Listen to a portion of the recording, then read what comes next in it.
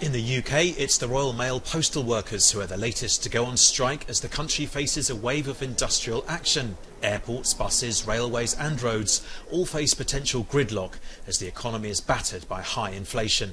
Postal workers across the UK, 115,000 postal workers, have been involved in a long running uh, bitter dispute. And it is about saving jobs, it's about saving the service that we provide uh, on a daily basis to customers right across the UK. The strikers want their pay to rise with inflation, which is now at 11.1%, but Royal Mail is struggling.